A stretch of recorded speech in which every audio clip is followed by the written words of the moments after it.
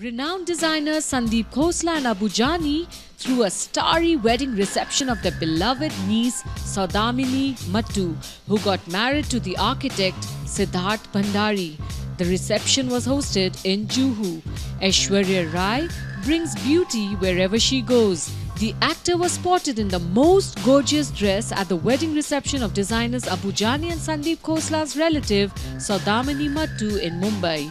Also spotted at the party were some of the biggest Bollywood stars like Jaya Bhaduri Bachchan, Shweta Bachchan Nanda, Sonam Kapoor, Rhea Kapoor, Sara Ali Khan, Bhumi Pednekar, Neetu Singh, Dimple Kapadia, Sonali Bendre, Tabu, Bhavna Pandey, and Mahip Sandhu, Karan Johar, Sikandar Kher, Sanjay Kapoor, Sunita Kapoor, and more.